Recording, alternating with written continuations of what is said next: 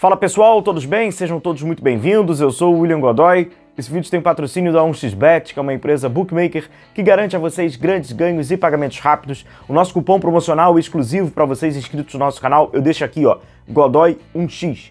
Para você se cadastrar é muito fácil, o link está na descrição do vídeo, também no nosso comentário fixado, para vocês acessarem, baixarem o XBET e na hora de realizar o depósito, realizar com o nosso cupom. A partir dali, faça o seu palpite vencedor. Você pode aproveitar nessa quarta-feira jogos da Copa Libertadores, Aliança Lima e Fluminense, além de São Lourenço e Palmeiras, tudo na 1xBet com o nosso cupom Godoy1x.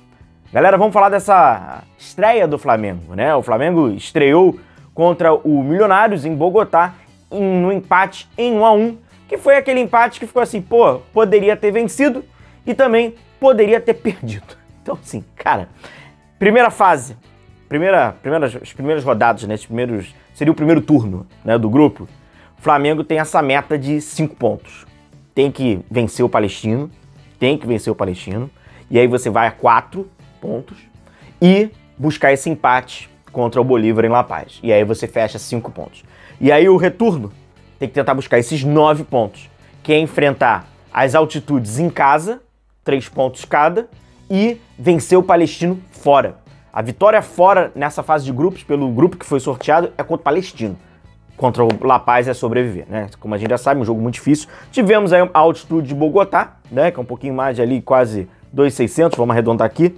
2,600, interfere, óbvio, né? interfere diretamente. Agora, tiveram algumas condições aí do jogo, né? Que foi aparecendo que o Flamengo teve algumas dificuldades. Esse lance aqui, para mim, ele é crucial na partida. O Cebolinha dá a bola levantada lá pro Bruno Henrique, que de cabeça escora para dentro da área, e o Vinha acaba desperdiçando. Esse, jogo, esse lance foi cerca de 4 minutos, né? Quase ali 5 minutos. Pô, a margem de erro na altitude, ela já cresce exponencialmente. Agora, você errar lances, assim, que teoricamente, cara, você tem que aproveitar, então assim, fica difícil.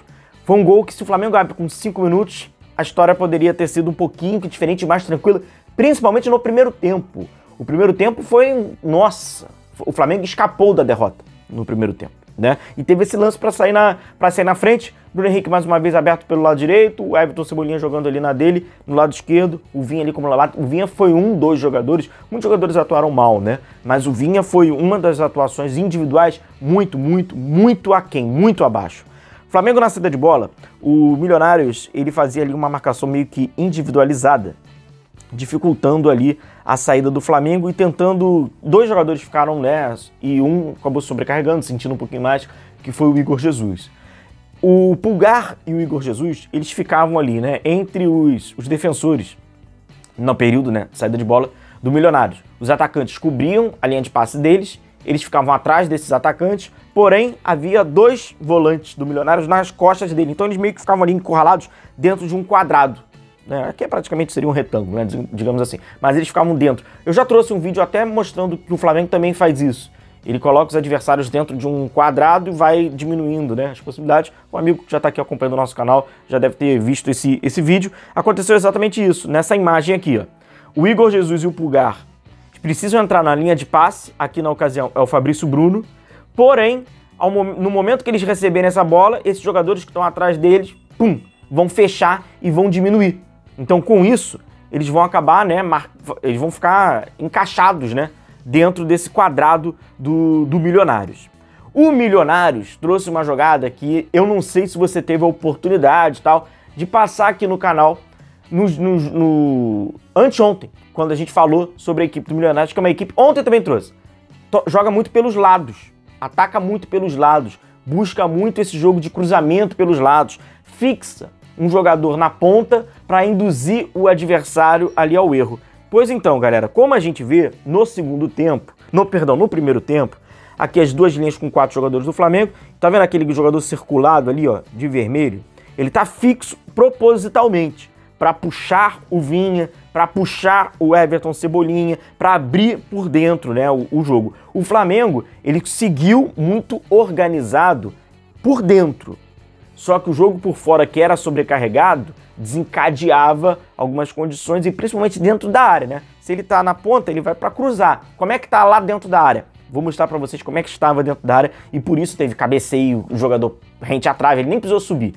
A outra acertou a trave, a gente vai chegar lá. Só que ainda no período que o Flamengo tinha a bola e o Flamengo não conseguia ter controle, até mesmo por a condição da, da altitude, evidentemente, ela vai abreviando aquele aspecto né, de uma movimentação mais rápida de você, né, cara, se desmarcar. E aqui, ó, que eles fizeram, um para um. Aí, tá vários, de um, vários, ó, um para um, ó lá, um para um, um para um. Ele, o Milionários individualizou a marcação, com isso exige mais mobilidade do Flamengo, exige mais desmarque. E aí não tinha desmarque. O time tava muito fixo, cara, que negócio da 2.600 e tal. Então tinha que ter um. Não tinha o, o De La Cruz, cara extremamente dinâmico. E aí é uma outra, mexe muito na, na engrenagem. O Igor Jesus estava sentindo, e até porque ele estava mal, tecnicamente, é um outro que também estava mal. E aí fica meio que, sabe, aquele escondido ali, porque não, não, tem o desmarque. E quando você marca individualmente, você tem que ter o desmarque, senão facilita. Vamos aqui, ó, no lance da área, pedir Amigos, não se esqueçam, eu estava esquecendo já. Deixa o like aí, deixa a curtida de vocês. Você que é um amigo que já vai nos acompanhando aqui diariamente, que a gente vai falando sobre notícias, informações, análise e opinião sobre o nosso Flamengo. Deixa a curtida de vocês, se inscreva. Você que ainda não está inscrito, seja bem-vindo, aperta aí o inscrever-se. Obrigado aí pela moral. Não esqueça aí, galera, de deixar o like aí, tá? Tamo junto aí. Aqui o tal cruzamento que eu falei. É, esse lance é até é a cabeçada que o atleta do, do Milionários nem precisa subir. Olha aqui, ó. 2 para 1. Um eles ficavam buscando ali as costas do lateral oposto. Ó, dois para um.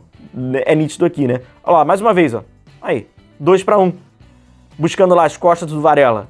Mais um, dois para um. Então, ó, vamos voltar aqui, ó. O do Vinha.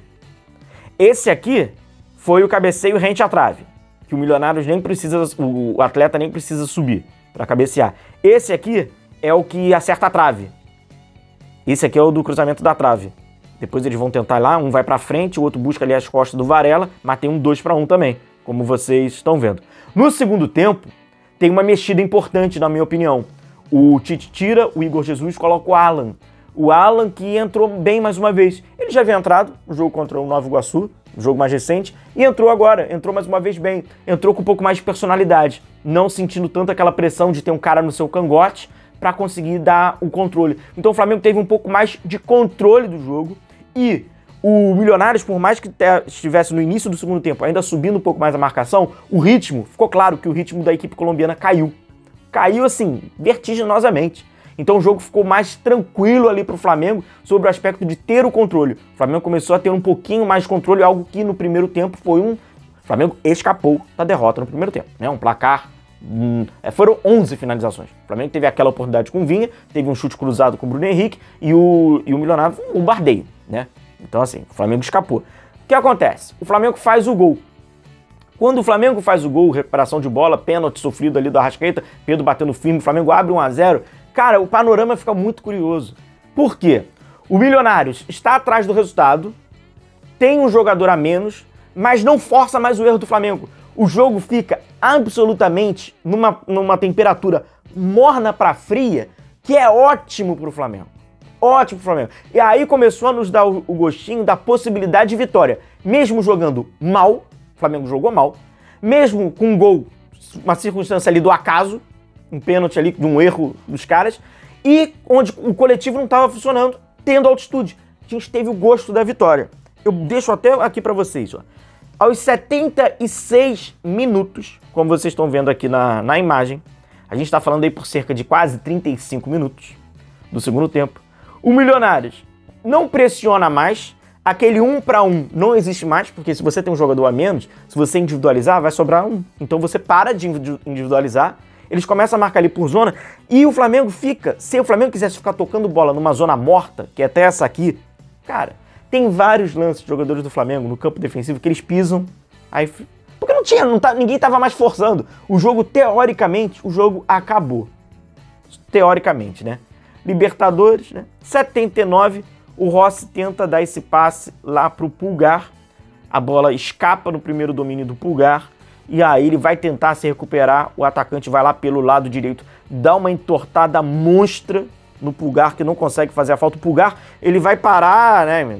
Ele, ele saiu de Bogotá, né? Foi embora. Depois daquele carrinho, ele foi parar em Cali, né? Foi embora e aí tem o cruzamento para dentro da área e diminui. Agora, quando eu olho lá atrás, cara, muito desnecessário. O erro ele é muito desnecessário, muito desnecessário. O Flamengo tá ganhando, o, o como corrobora com o que eu acabei de falar. O Milionários não tá nem mais te forçando, você vai acelerar para quê? Então assim, desnecessário, opção completamente desnecessária, e aí soma-se com um erro técnico, e aí soma-se com tentar fazer uma falta grosseira que não tinha necessidade, só apenas um jogador na área e dois que estavam chegando, enfim, um erro que foi somado, várias, várias, várias, várias coisas. Cara, isso aqui eu tinha que trazer para vocês, até pra gente dar uma descontraída, né? Isso aqui foi uma falta. Que porcaria é essa do Davi Luiz tentando dar uma chapada pra quê? Comemorar os 10 anos do gol contra a Colômbia? longe para Dedel, nem com a altitude conseguiu que a bola chegasse com força lá. Ela pinga dentro da área, antes da marca do pênalti. Cara, que cobrança horrorosa do, do Davi Luiz. Resultado foi bom. Foi ótimo pelo, pelo, pelo primeiro tempo e péssimo pelo que estava aparecendo o segundo tempo. No momento ali, dava para o Flamengo ter saído com a vitória, mas até pela justiça do pacote, não tinha como. Foi uma atuação muito, muito abaixo. O que preocupa foi que o Tite falou na coletiva depois que ele teve problemas em, com nove jogadores. E aí esse problema ele tem que já ligar um alerta grande, né? Agora começa a sequência, agora vão começar... A maratona começou agora, né, galera? O, indicativo dessa temporada é de dois jogos por semana, vai ter viagem. O grupo que o Flamengo pega não é um grupo bacana, porque além da altitude, tem as viagens são longas. O Flamengo vai fazer viagens longas. O Flamengo é o segundo clube a, o Palmeiras, o perdão, o Botafogo é o primeiro, com as viagens mais longas. Então vai ter agora ainda mais uma altitude insana.